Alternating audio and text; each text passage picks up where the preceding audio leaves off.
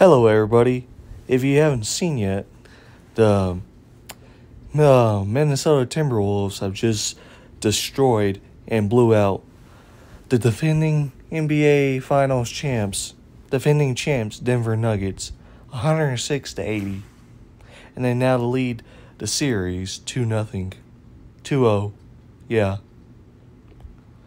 Karl-Anthony Towns had 27 points and 12 rebounds.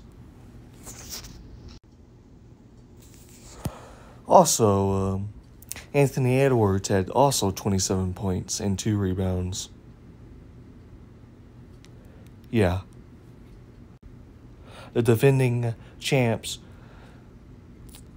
main scorer was Anthony Gordon with 20 points and Ninoki Jokic, whatever you say his name, had 16 points and 16 rebounds. And Jamal Murray had struggled from the field, 3 for 18, 8 points and 13 rebounds. Yeah. And again, the Timberwolves now lead the series 2 0 in the Western semifinals. 2 0. I believe they might win it all in five games. And they blew out the Timberwolves, uh, Denver Nuggets in game two of the Western Conference semifinals. This is not looking good for the Denver Nuggets as their quest to win their second straight NBA uh, championship. Yeah.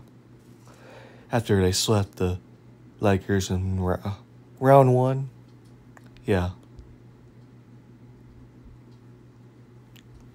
The Timberwolves swept the Pelicans in round one as well. I believe this team might go to the NBA Finals and might win it all this year. But anyhow, y'all, the Timberwolves beat the Denver Nuggets 106 to 80 in game two of the Western Conference semifinals, and they now lead the series 2 0.